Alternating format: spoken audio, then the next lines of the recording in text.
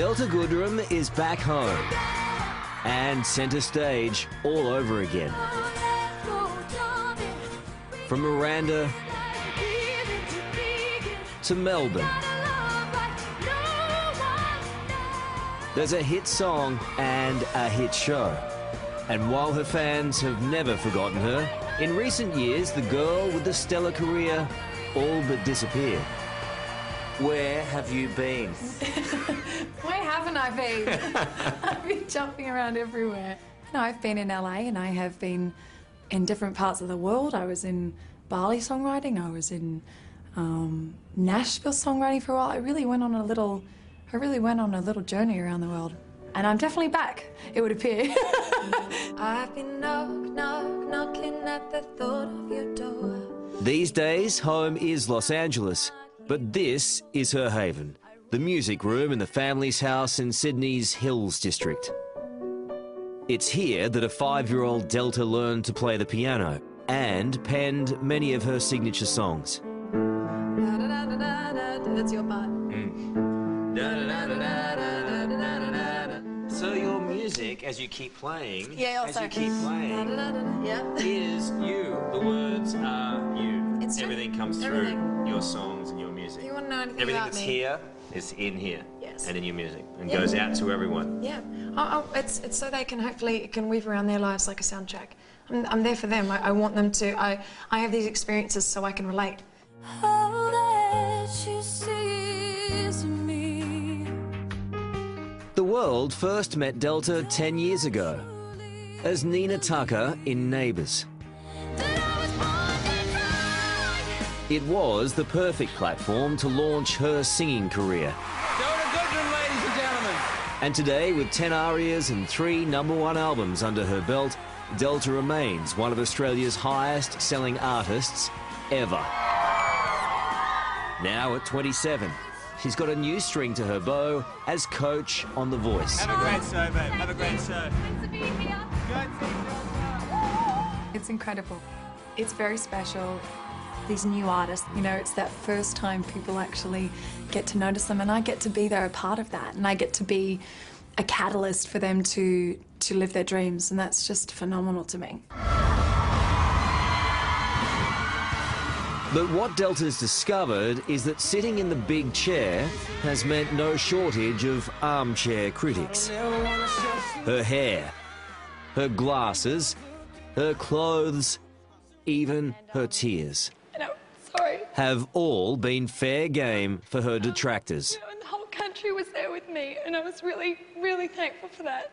I've been hurt because I hate that my that my sincerity would be questioned, or I'm not quite sure where that comes from. It confuses me, and I and it and it's been a bit heartbreaking because I only I only want to do the best thing for everyone. I've only ever wanted to to bring a good mess bring a good message through music. I accept that everyone has an opinion. I accept that. It's it's that's fine. I don't appreciate the personal attack because what I do because it's not like I'm not. I, I don't think I'm offensive. Have you come home sometimes and cry?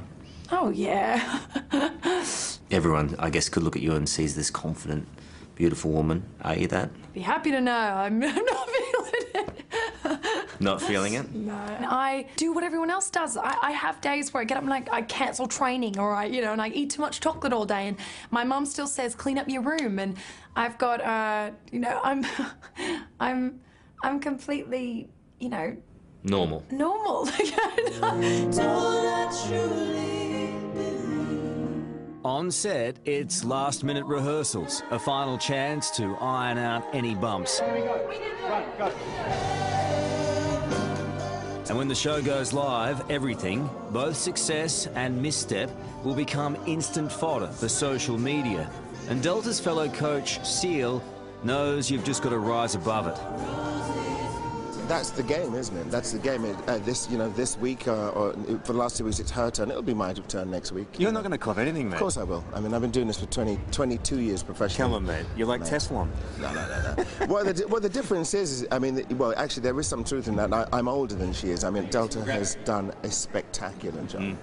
She um, is able to, to, to, to be a role model, but at the same time, uh, be truthful. I think is uh, is admirable. Thank you, darling. No worries, sweetie. Wasn't that long ago, you know? That I was at school? You know? Yeah. Hello, hello, hello. Certainly, there's no shortage of admiration for Delta at her old school, Hills Grammar. You like the Pied Piper? She still makes regular appearances here. That I was born to try. I've learned to love. This is show and tell Delta style. Did your dream really come true? I am. I'm so lucky. My, my dreams of one day singing in front of thousands of people in a room, one room, is, has been able to come true. So, yeah. What are your dreams? To be famous? No! No! That's it. You're coming with me. No! I just wanted to know uh, have you ever lost your faith in love and could I make you believe again?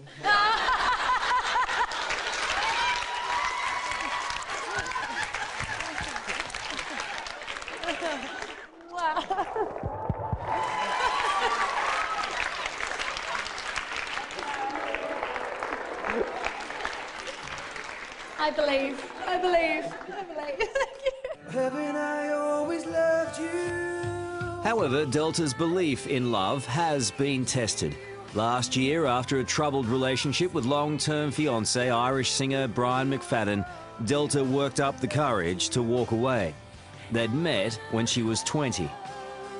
It was a genuine love, and so I can't I can't sit here and say it wasn't um, because it was at one point. You know, I was very young when I met Brian. It lasted a long time. Yes, do I wish that it ended earlier? Yes, do I wish I had the courage to to leave earlier? Yes, I do. Um, but do I? What I I think what what we came to is that we were very different people, extremely different people. How was your heart when that all ended? Oh, like anybody. You know, but in saying that, I think when your heart's been broken so many times along the way that by the time it really is over that you that you are I was exhilarated with, you know, the anxiety of freedom as well. Freedom. Yeah, I was I was really on one hand it was a real relief as well. Yeah. And then I jumped into a, another relationship that was completely different. Hmm. And so, so Can you want to talk about That's that? That's what it is. You can talk about anything, Karl. I, I'm, you know, I'm sort of, I'm, you know, whatever. Let's just talk about everything. That relationship was with American musician Nick Jonas. And at eight years her junior, let's just say it was a tad controversial. A 19 year old? I think he was 18. 18, I'm sorry. No, What was that about? maybe it's that I'm interested in challenges. Maybe I, maybe I'm just, I'm one of these spirits that's always sort of, hmm, what is this lesson here? What am I learning here? Did you fall in love there? Um, oh, wow, wow. You said I could ask anything. Yeah, it's true. um, there were, you know, there was a genuine love, you know, definitely. You know, my, my dad actually said to me recently, now the next person you kiss, now you're not allowed to fall in love with them, okay? Are you worried that you won't find the right bloke? Oh no, no, it's not it's not even on my radar. Like it's really like I'm so I'm just so uh, Over it. Yeah. No I'm really I'm really like Karl, I'm just I don't, it's it's not I'm not looking for that right now. So yeah, coming in here, mixed emotions. Yeah, it's it's it's, it's very it's a very private. But in the trials and tribulations of Delta's life, one battle stands above all others her fight against cancer. Hi there. Hi, Delta. My name's Ross. Nice, Hey, Ross. lovely to meet you. Lovely to meet you too. I hope that's your just your second day. And the same problem you had, apparently. Yeah. We're in the same club. Same club. And you'll get out of the club. I'm sure of that. The chemotherapy ward at St Vincent's Hospital in Sydney is where Delta was treated for Hodgkin's lymphoma when she was only 18. And did you have total hair loss? Oh, completely. Complete. Yeah, yeah, I used to stand there, you know, pulling it out. Delta's now been cancer free for nine years. But like all cancer survivors, the experience stays with her. Uh, yeah, it's, it's definitely, it's, sorry, it's, um, yeah, it's, it's hard because I think you, you know, it's, I feel differently about it at different stages. I think, like, as you get a bit older, I realise that I, uh, you get more emotional, I think, about it. When you come in here and you see people at the start of their journey. You know what they're about to go through. Yeah, absolutely. Um, it's um, I, I only ever want to be a tower of strength, so I hate getting upset, and I know that people don't need anyone to see upset, but um, it's just because it's life and it's real, and I know that you kept a diary. When you look at that diary now, what do you see of yourself? But this diary was, it's really, really fascinating because I think I learned how to swear in it. I think you start, I, I don't think I'd ever said a swear word in my life. And then halfway through, we find out the, the usage of some swear words. Bad girl. Not it's unbelievable, just disastrous.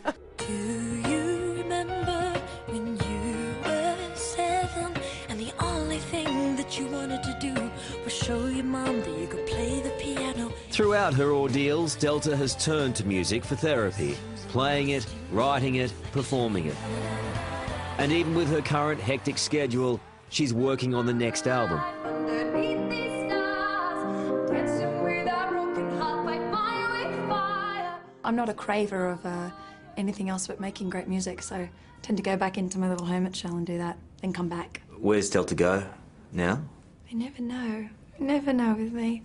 I uh, continue to make great music for people. That's really what I want to do. And um, get back on tour and sing for people. Delta is irrepressible. Her enthusiasm simply infectious. Oh, you make me cry. You know I'm a so all night. She's grown up before us, a childhood star, now simply a star. And she'll keep making her way through the strange and at times unforgiving world of fame as best she can. I want to make Aussies proud and continue to learn and put them in songs. And